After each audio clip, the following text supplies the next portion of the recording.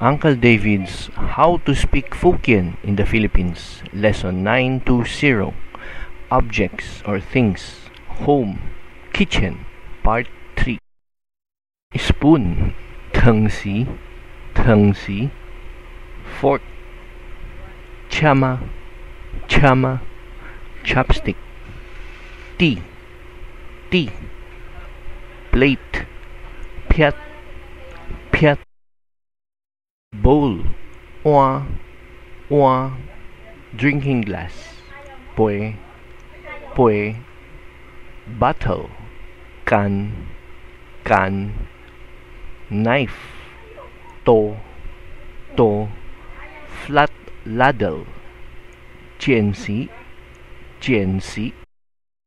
Remember, practice makes perfect.